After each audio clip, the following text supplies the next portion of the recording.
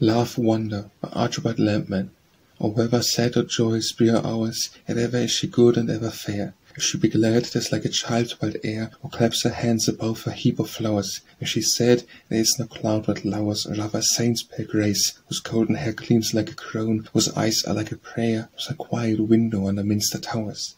Whether beloved, how shall I be taught To tell this truth in any rhymed line? For words and woven phrases fall to naught, Lost in the silence of one dream divine, Wrapped in the beating wonder of his thought, Even thou, who art so precious, who art mine.